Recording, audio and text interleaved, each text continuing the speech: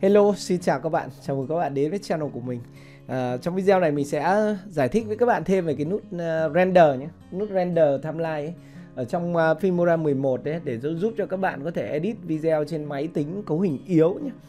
À, như kiểu cái máy của mình đang dùng ấy. Tại vì cũng thấy nhiều bạn hỏi À, máy tính của mình nó là cái một cái laptop nhé, nó tên là Dell Latitude.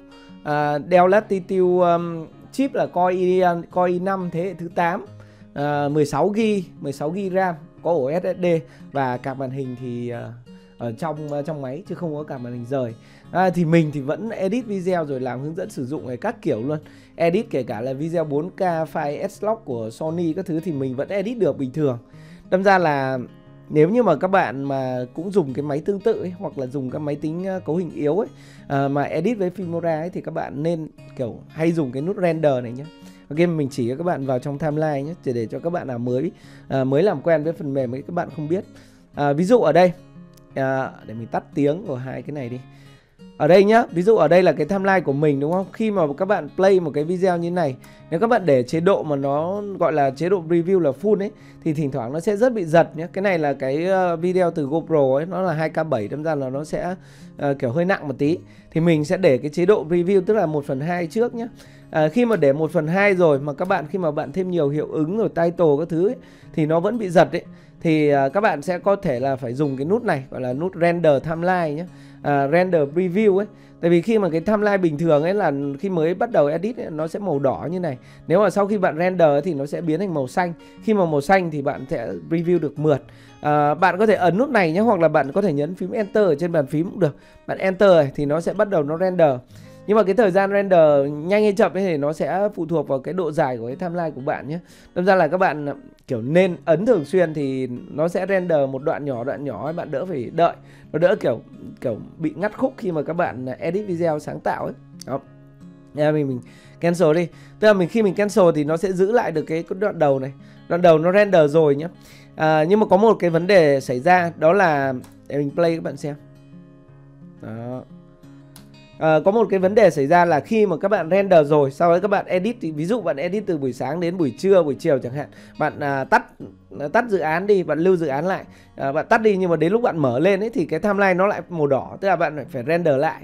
Thì à, để tránh cái việc đấy thì bạn có thể cài đặt nhé à, ờ, ví dụ ở đây mình à, ví dụ ở đây nhé mình Ctrl S này lưu lại nhé mình lưu lại dự án nhé sau mình đóng lại cái dự án này lại nhé sau đó mình mở lên để cho các bạn xem nhé à, đây thì mình tắt cái này đi đây à, cái này là cái vlog này thì mình sẽ mở lại nhé à, mình mở lại nhưng mà các bạn sẽ nhìn là nó vẫn kiểu timeline nó vẫn màu xanh. Đấy, ở chỗ này nó vẫn màu xanh tức là cái phần render của mình ấy nó không bị mất đi. Nhưng mà một số bạn thì bạn chỉnh như này bạn vào file bạn chọn chọn reference nhé à, sau ở phần editing à không xong ở phần à, performance nhé trong cái phần performance đấy thì bạn sẽ có cái phần render đấy nhé render review bạn lại ấn vào cái ô này tức là bạn automatically delete render file tức là tự động xóa cái file render đi khi mà đóng dự án lại. Đấy thì nếu như bạn check vào cái ô này ấy thì khi mà bạn đóng dự án lại thì cái này nó sẽ bị kiểu nó nó bị đỏ trở lại nhé ví dụ mình kích vào đây mình ok nhé à, ờ, mình ok và mình lưu cái dự án này lại mình đóng lại mình mở lại cho các bạn xem nhé nó sẽ tự xóa đi nhé đây Quick 2 log này. Nó sẽ biến thành màu đỏ chứ nó không còn xanh nữa đấy nó lại đỏ này. Thì bây giờ ví dụ bạn làm cái video khoảng dài khoảng tầm mười mấy 20 phút hoặc một tiếng chẳng hạn thì mình bạn lại phải render lại bạn đợi nó rất là lâu. Nên các bạn là nhớ là nếu như mà các bạn dùng ấy thì các bạn nhớ vào cái preference này nhé các bạn check này performance này. Sau bạn này bạn nhấn uh, bỏ cái chữ này đi nhé bỏ automatically delete render file when the project is closed này đi nhé à, với với lại nếu như mà ổ cứng của bạn mà bị đầy ấy, thì các bạn có thể vào đây bạn nhấn nút này clean uh, delete này hoặc remove all render file bạn nhấn yes thì nó sẽ xóa hết đi.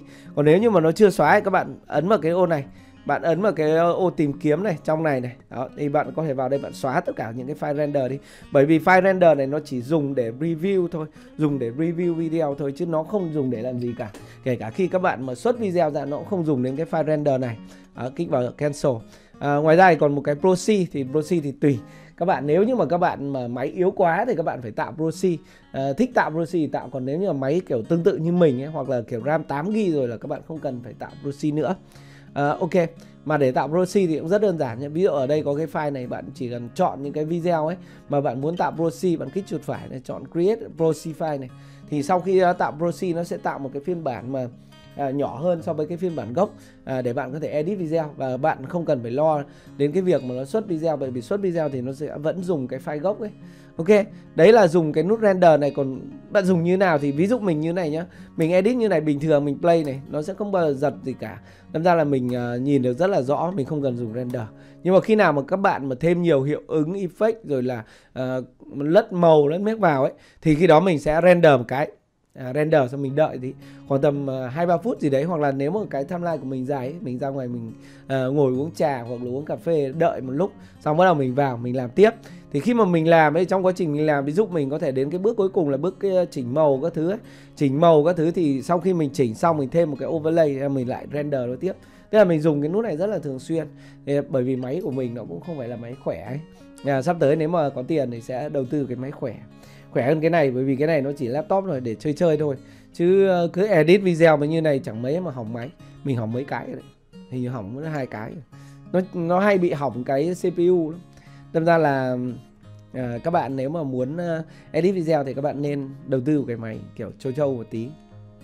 Ok đấy là hướng dẫn à, các bạn làm nào để sử dụng cái nút render cho nó đúng à, và giải thích một số cái về nút render à, mình hy vọng là video này hữu ích với các bạn còn nếu mà các bạn có bất kỳ câu hỏi nào các bạn có thể comment bên dưới mình sẽ làm à, video hướng dẫn các bạn còn bạn nào mà muốn mua bản quyền để xóa logo của Filmora thì à, nhớ xem thông tin mình đặt dưới phần mô tả nhé ok Cảm ơn các bạn đã xem video. Xin chào và hẹn gặp lại các bạn ở những video tiếp theo. Goodbye.